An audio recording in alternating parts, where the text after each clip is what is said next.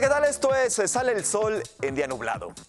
Nuevamente la casa de moda francesa Louis Vuitton ha sido blanco de burlas en internet. Esto por ofertar un jersey completamente cubierto por peluches a un costo de 8 mil dólares por prenda.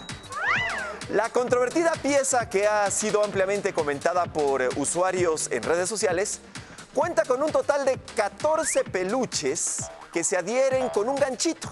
Trae un oso panda, un eh, flamingo, trae un escorpión, un ratón, una rana y un mono que cuelga del hombro. Chale, pues la neta, la neta, la neta, este, este es un fusilón del popular saco del tío Gamboín. Gandallas. Saludos a Pacholini Salchichito.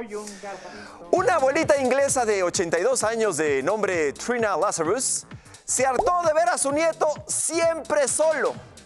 La única forma de buscarle solución fue combatiéndole fuego con fuego. Le armó un perfil en la popular app para citas de Tinder para que saliera de su soltería. De acuerdo con la señora Lazarus, residente de Brentwood, allá en Inglaterra, puso manos a la obra para ofertar a su nieto Scott Lefebvre, de 28 años, quien desde hace dos años no tiene pareja.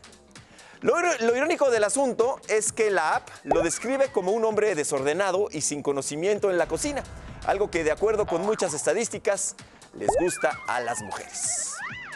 ¿Sí? A nuestro querido compañero y amigo Carlos Arenas le gusta esto.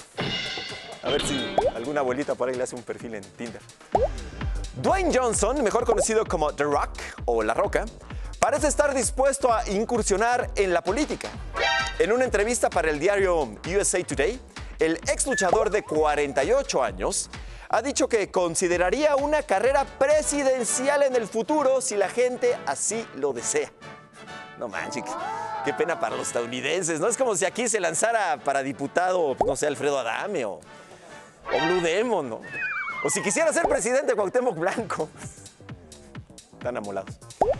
Bueno, pues en fin, esto fue todo por hoy. Esto fue Sale el Sol en Día Nublado.